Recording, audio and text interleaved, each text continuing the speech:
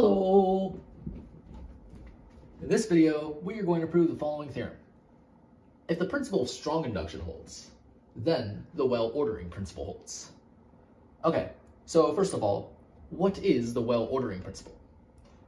Well, the well-ordering principle states that for every subset of the natural numbers, if that subset is non-empty, then that subset has a smallest element. Let me write out what that is in logic notation.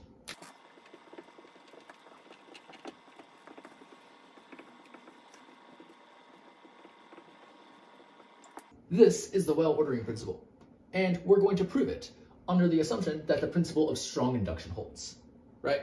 So to start out, well, we're trying to prove a statement about all subsets of the natural numbers. So give me an arbitrary subset of the natural numbers. I'll call it S.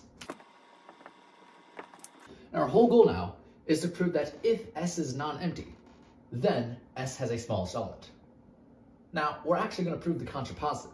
That is, we're going to prove if S does not have a smallest element, then S is empty. So, assume S does not have a smallest element. So really, this means for every element x in S, there is an element y in S such that y is less than x.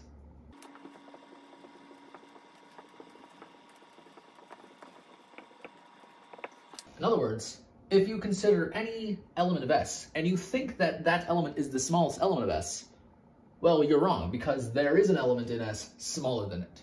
Now, we want to show that S is empty. So our claim is that for all natural numbers n, n is not an element of S. And we're going to prove this by strong induction.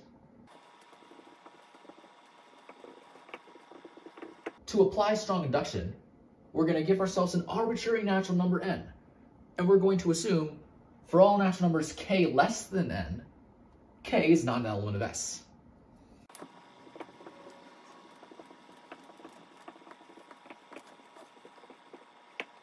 Our goal now is to prove that n is also not an element of S. If we can do that, then by strong induction, it will follow that for all natural numbers n and n, n is not an element of S. Okay, so we want to show n is not an element of S. So assume for a contradiction n is an element of S. So what happens if n is an element of S? Well, remember, we know that this statement works for every element S. So it must work for n, right? So we can take this statement, replace x with n, and we have that there is some element y in S such that y is less than n. Now notice, y is an element of S, and since S is a subset of n, of course y is a natural number. So y is a natural number less than n. But we know by our induction hypothesis that every natural number less than n is not an element of S. So since y is a natural number less than n, it follows that y is not an element of S. So we have that y is an element of S and y is not an element of S. This gives us a contradiction. Our assumption that n is an element of S led us to a contradiction so we must instead have that n is not an element of S. Okay, so let's put this together. We gave ourselves an arbitrary natural number n, and we assume that every natural number less than n is not an element of S. We proceeded from there to show that n is also not an element of S. By strong induction, this tells us that this statement is true.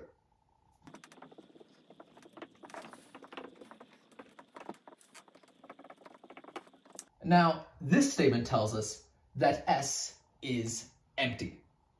The reason why is because if S was not empty, then S would have some element, say W in it. So W is an element of S. But since W is an element of S, it follows that W is an element of N. But we know that every natural number is not an element of S. So W is not an element of S. Gives us a contradiction. So that is why this statement implies that S is empty. So, we have shown that if S does not have a smallest element, then S is empty. Therefore, the contrapositive tells us that if S is not empty, then S does have a smallest element. So we have proven this statement. And since S was an arbitrary subset of the natural numbers, this means for every subset S of the natural numbers, this is true. So we have proven precisely this statement, which amounts to proving the well-ordering principle.